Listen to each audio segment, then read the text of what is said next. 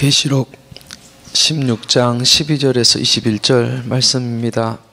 여섯째, 일곱째 대접 재앙이 나옵니다.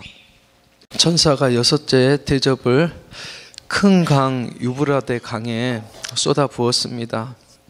그러자 강물이 말라 버렸습니다. 이 유브라데는 이스라엘 최북단에 있는 그런 국경의 최고 방어선이었습니다. 그런데 여섯째 대접이 쏟아지니까 그 강물이 말라버려서 동방의 적들이 이스라엘을 파멸시키기 위해서 들어오는 통도가 열리게 됩니다. 이것도 하나님께서 마지막 날에 어, 심판을 준비하고 계시는 것입니다.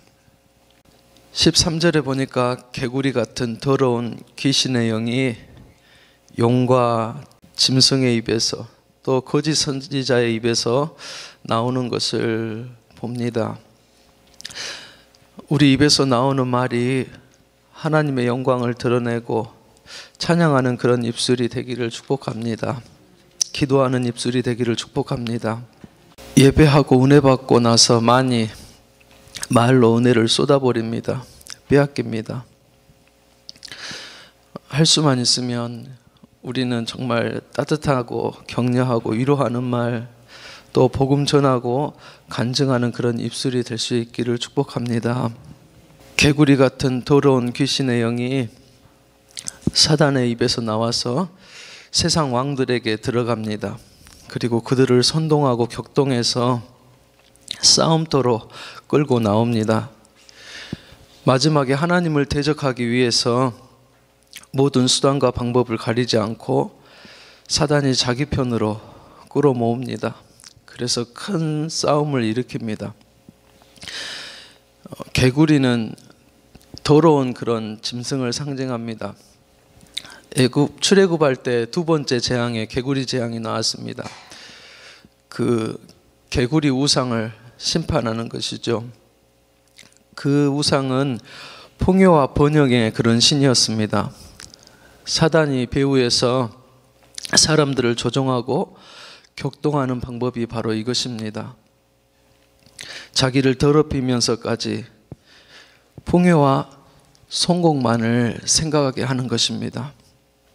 하나님 나라와 전혀 상관없이 바로 성공만 부추기면서 미혹하는 것입니다.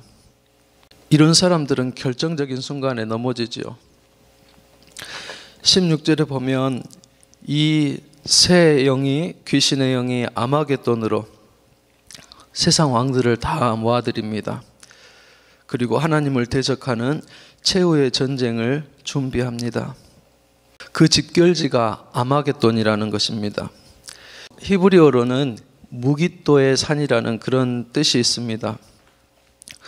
오늘 말씀에서는 이 최후의 전쟁이 나오는 것이 아니라 아마겟돈에서 최후의 전쟁을 준비하는 그런 모습만 나옵니다.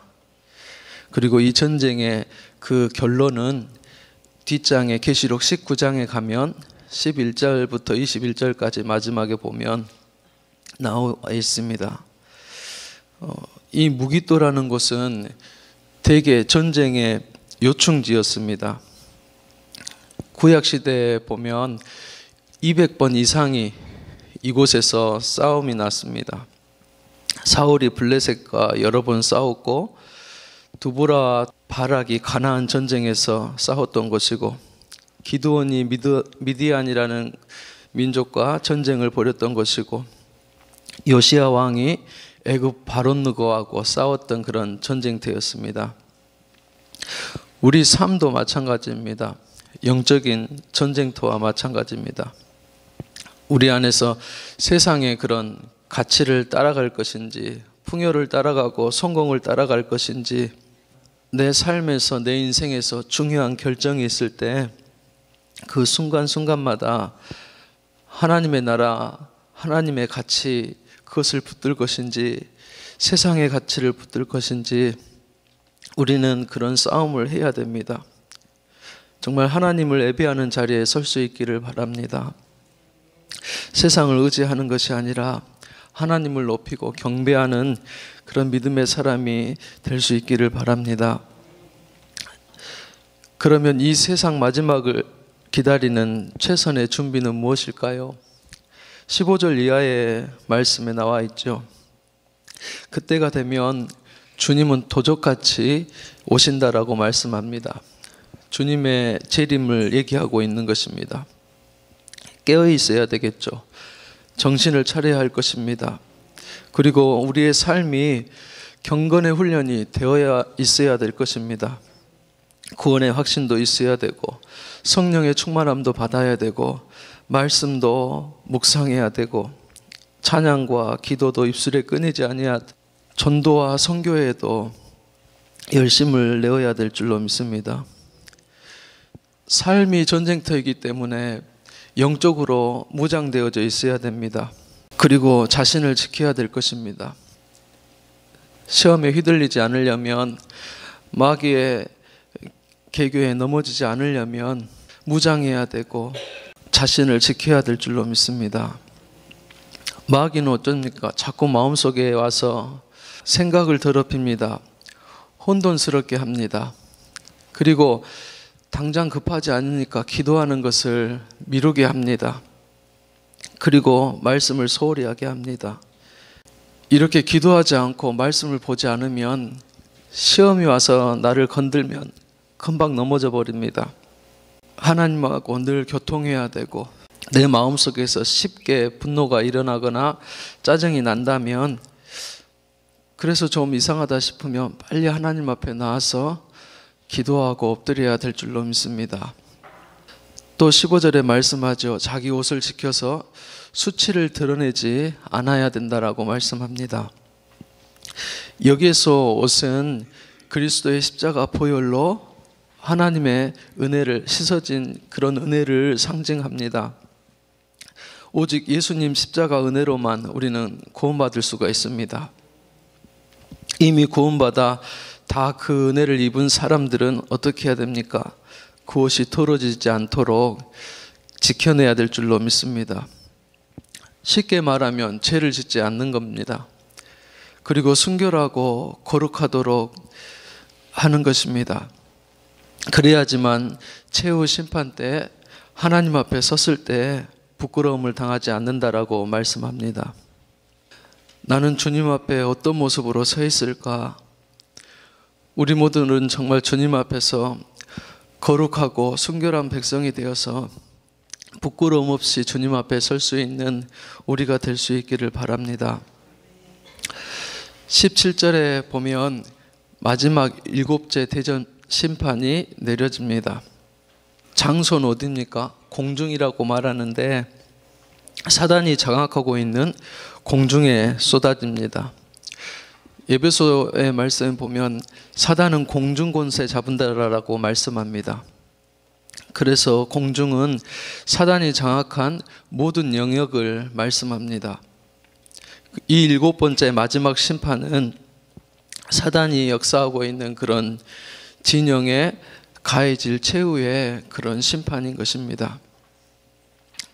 이 대접이 떨어지자마자 성전 보좌에서 큰 음성이 들려오지요. 되었다라는 큰 음성이 들려옵니다. 이거는 심판이 마무리되었다라는 것을 말하는 것입니다. 예수님도 십자가에 달려셔서 그 대속에 십자가를 질 때 마지막에 가상 7원에 다 이루었다라고 그렇게 말씀하죠. 그것은 무엇입니까? 예수님께서 십자가를 지심으로써 인류의 모든 죄를 다 대속하고 승리했다라는 그러한 말씀입니다. 오늘 일곱 번째 대접 재앙이 떨어질 때 보좌에서 하나님의 음성이 들립니다. 다 이루었다라고 말씀하시는 것입니다. 사단의 권세를 완전히 깨뜨리시고 하나님의 백성을 구원하신 그 심판이 완성되었다라는 그런 말씀입니다. 19절의 말씀 보면 어, 큰 지진이 나서 큰 성 바벨론 하나님을 대적하는 나라와 도시들이 파괴되는 것을 어, 봅니다. 그리고 21절에 보면 34km 정도 되는 한 달란트 되는 큰 우박이 하늘에서 떨어지는 그런 재앙이 남은 사람들에게 임합니다. 그래도 어떻게 합니까? 사람들은 그것을 보고 회개하지 아니하고 오히려 하나님을 비방합니다. 하나님을 거부하고 반역하는 그런 안타까운 모습이죠. 마지막 회개할 수 있는 기회인데 하나님을 비방합니다. 우리 은혜 받는 사람들은 어떻습니까? 우리가 매를 맞으면 정말 믿음의 사람들은 조그만 하나님이 매를 들어도 하나님 앞에 엎드려집니다. 자복하고 회개합니다. 이것도 어떻습니까? 하나님이 그런 은혜를 주셔야지만이 하나님 앞에 나아올 수 있고 엎드릴 수 있는 것입니다. 또 주님 앞에 항복할 수 있고 애독하며 자복하는 그런 마음을 가질 수가 있는 것입니다. 오늘 여섯 번째 또 일곱 번째 대접 대항에 대해서 말씀합니다. 우리들 영적인 싸움에서 항상 승리하기를 원합니다. 그리고 내 입술에 말을 통하여서 하나님의 영광을 나타내고 드러내기를 원합니다. 또 주님은 늘 깨어있기를 원합니다.